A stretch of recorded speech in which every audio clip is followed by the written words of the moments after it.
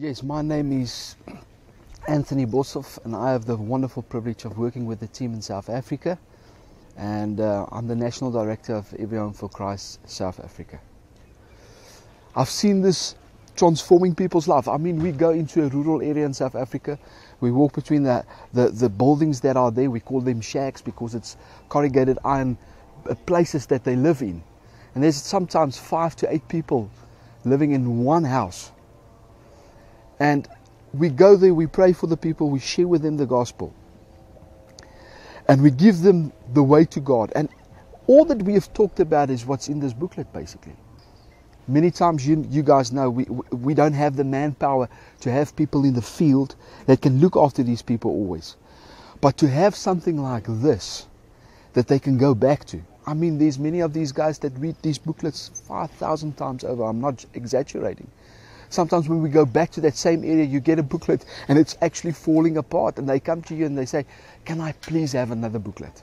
We go into an area, we minister to people, people get saved, and you'll always have one person or two persons that say to you, Can I get five booklets?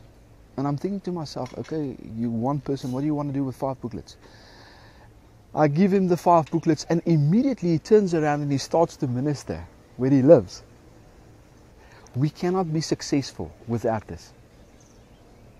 Whenever I go, wherever I am, when I decide to go into the field, if I do not have this, I feel incomplete. Because this helps me to fulfill the Great Commission in a way that, that, that only God can perform. You guys give us a tool in the hands that we can give to other people. I mean, we, as I said, we go to an area, we are there mostly on a Saturday morning sometimes, um, seven to eight hours in the sun.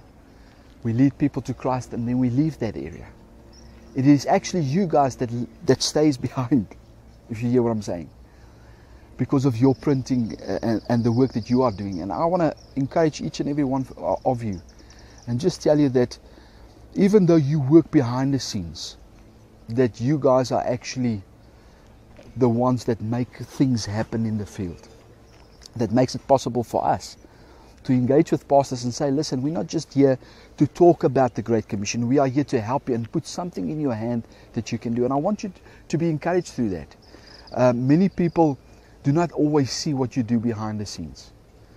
Um, but I want to say thank you Thank you for your prayers. Thank you. Thank you for your dedication in giving us booklets.